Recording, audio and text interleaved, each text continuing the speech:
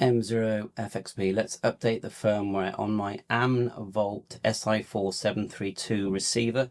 This adds a signal meter and Wi-Fi. You can add memory channels and you can upload the EIBI database, which means when you're searching in the shortwave bands, you get the names of the channels, not on everything, but on several thousand. So of course, this is at your risk.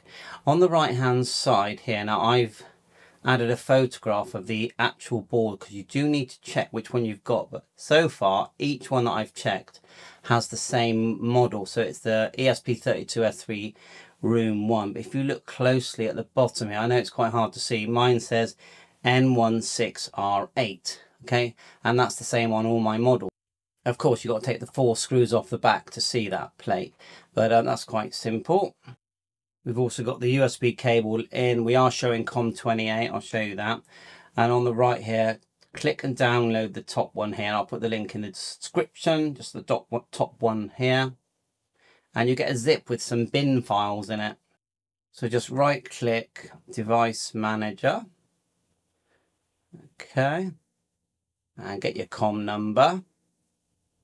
Like so now, uh, like I said, you're doing this at your risk. If you brick it, don't blame me. USB 28 and a COM port. So we know the COM number. This chart tells you which files you should be downloaded. So if you look in here, WROOM 1 N16R8, that's the one I'm using.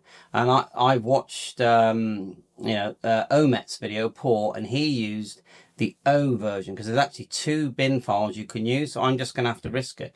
Um, I feel it's the O version, not the Q. When you download here, you can download the O version or the Q. So when you look at the file that you downloaded, and I'm just looking here at my downloads, click one lot, it actually starts with the word OSPI, OSPI. But another load uh, have got the QSPI, the Q.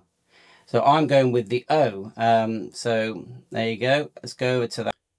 And I'll put the link in for the chart as well and have a good read. I've got the instruction manual here as well. So read it. Um, this is the version of the firmware loader we're using is, is via a browser, which basically means you don't have to download it. It's via a browser, but there is the download version, but the browser version is so much easier. But like anything, if you don't get it exactly right, you are going to make the screen go black and unusable. Yeah, you could probably try and reload it all again, but please do not blame me. You are doing this at your own risk. Quite a good manual here once you've got it loaded as well. You can change the screen themes as well. And once you link the Wi-Fi, you can you know you can actually in interface with your device just using your PC or your or your browser because it uses an IP address 10.1.1.1 which which does get changed once you've linked to your Wi-Fi at home your broadband router at home now the EBI, EIBI that you upload once connected is, uh, it basically says here, the EIBI database also includes a utility station such as aircraft, beacons, weather, fax, maritime broadcast, and it's the most comprehensive database. So it's basically linking the name of a place, you know, a channel, to a frequency. So here's the tool opened up. We know it's COM28. So we're going to go and it's, it's turn on, plugged in, connect, and we're going to look for 28.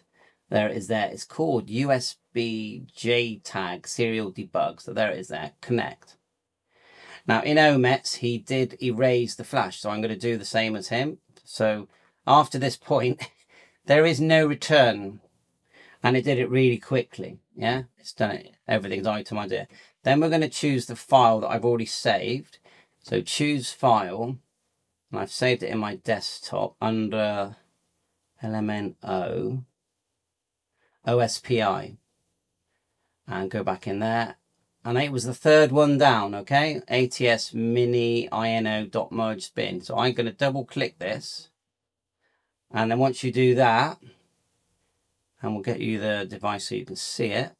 The screen does go black once you start to interface with it in this way. You just go, uh, you need to change this here. See it says naught to naught x naught and it's a little x so naught times naught. And then you go program.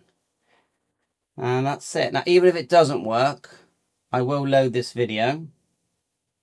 I've done it once on my blue one which is oh I shouldn't really mess with that because I'm just right near the cable so I'll leave that actually. Um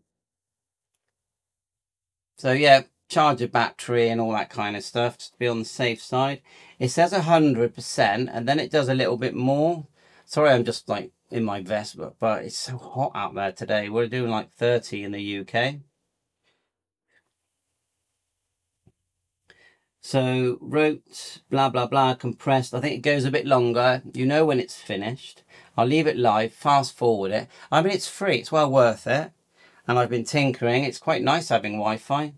Hard resetting via RTS pin. I'm pretty sure that once you get to that, uh, that it's done. Yeah, let's leave it a few seconds longer. It means you can change the color themes. The whole thing just works better. And this what this model was working quite well anyway. Um, and you've got that one touch thing. So yeah, that looks fine. So I'm gonna unplug it, turn it off, then on. And when it comes on, if you've done it right, it comes up with that, okay? And that's a shortcut to the, the instruction manual. So let's just get this up bigger. I haven't configured the Wi-Fi on this one yet, although I, have been configuring it on another one. So just press and it will go back to normal. And here we are. It's the usual because it's bit. It's got the latest. Why have I still got that on there? They are lovely screens on these, aren't they? Press and let's just check we're in. Uh, we are in lower sideband. Ooh.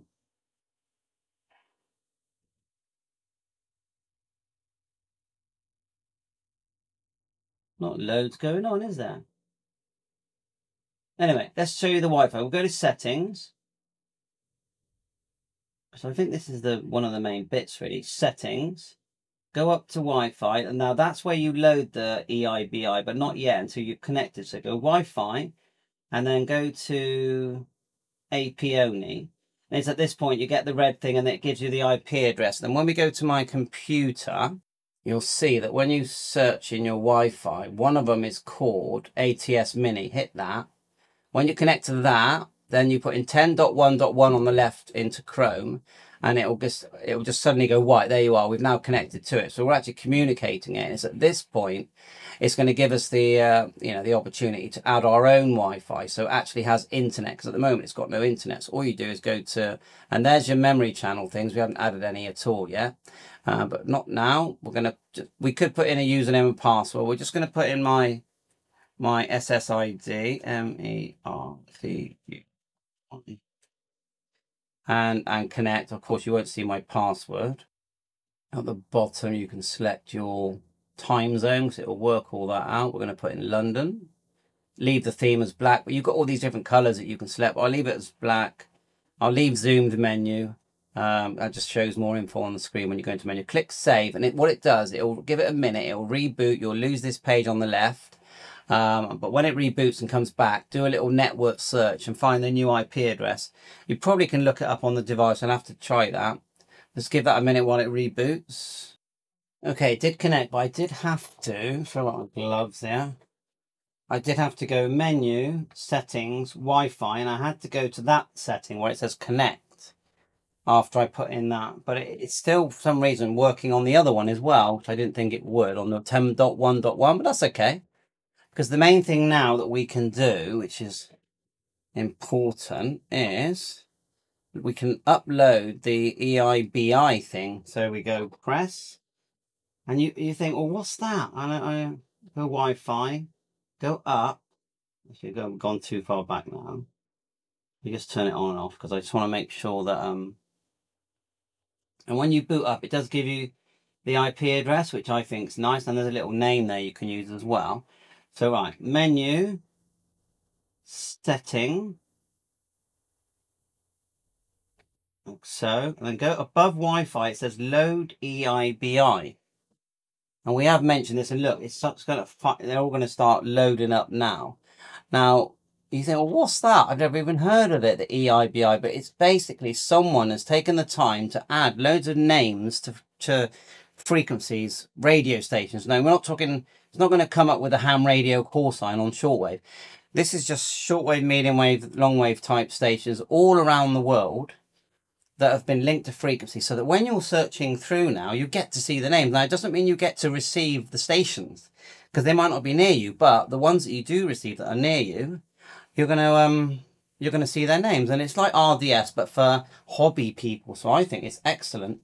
And again, I'm sorry, but I'm I'm hiding in the corner because I'm sort of out in the sun. I'm doing my exercises because I exercise three times a week with light dumbbells. And um, so I want to keep fit. And I definitely do not eat Coke and McDonald's every day and chocolates and sweets. I, know, otherwise, I don't think I'd be alive now. I'd be very near and I wouldn't be able to walk properly. And I'd be breathing heavily and I'd be like, why am I gradually killing myself? So what I'm going to do is, you'll see I've already done it. If I press the silver button, like so. Just make sure you can see what I'm doing here. And it's already given a, a name there. It's given a few names for that frequency, look. It's sort of scrolling through. So you press, go to band, and I selected all. And then as we go down, there's one there, Sound of Hope. Hmm. Not sure what Sound of Hope means. Let's try Seek. If we press, go down to Seek and do a backwards turn. Maybe the sound of hope means you're hoping to find something. It means someone tell me if you know, because I've not seen that before. But look, CHU. And you'll see that we've actually got a proper tuning dial now, which actually move and is realistic. It isn't just pretend.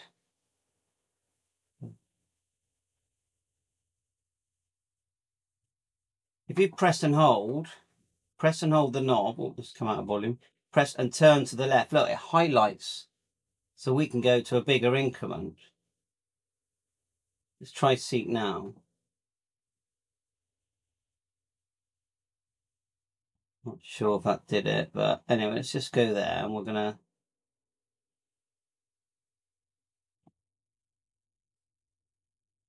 I don't I understand we're not finding much. There's one US Air Force.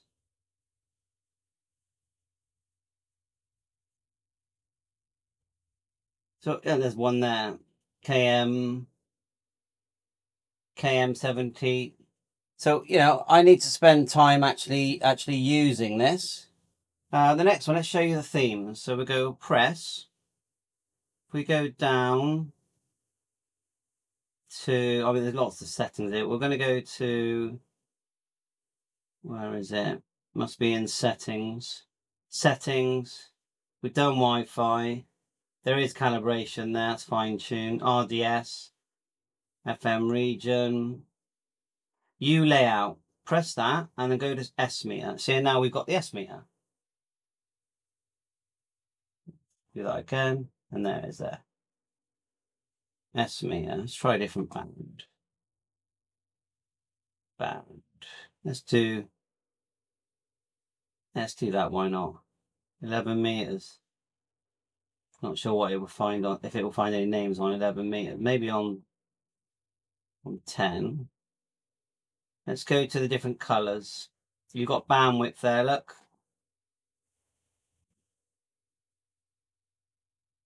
Settings, zoom menu. When you select that on, it, look, it puts the menu there.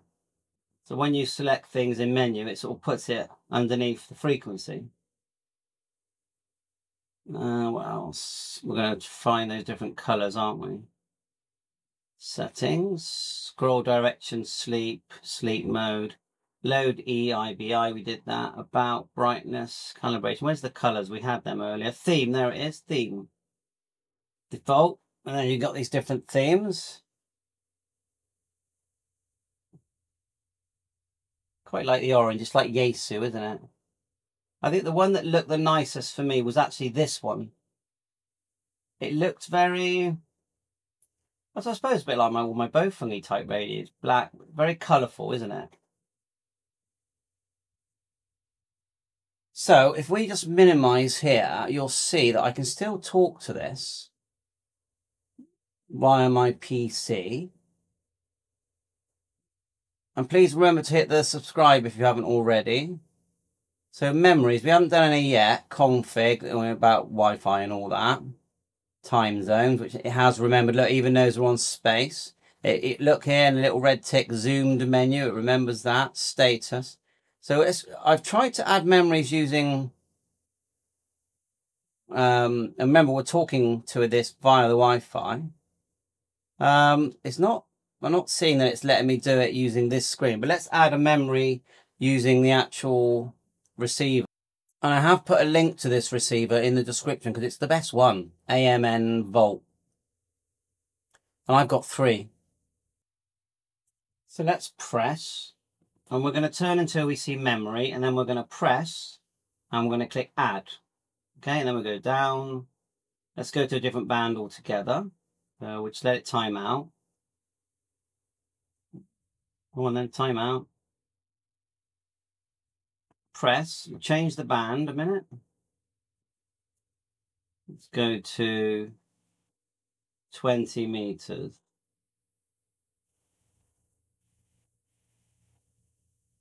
No 20 meters there. It's funny, I can't see that. I know it does 20 meters. Look, you've got all these medium wave. 40, 30, there's 20 there and we're already on S upper side band so it remembers that not a lot going on today normally it is good these do receive well anyway press then we'll go to memory press and then we're going to go add okay and then we do another one change the frequency first we just go to where we were memory. Okay. Yeah, again, and it goes. So now, hopefully, if we refresh the browser, shouldn't that be there? Yes. now, can we change them once we put them in? No. I reckon one day we will be able to, because in the manual, I'm sure it said you can change it. So I put all the links in. You can see this is cool. There's way more to this than I know. If we look at the manual. Right, okay, I've been thinking for ages, but there's your broadcast radio. Have a little tune round and look, check out, make sure you read the menu, the instruction manual, lots there. All the links are in the description. Please hit the like, subscribe. Bye.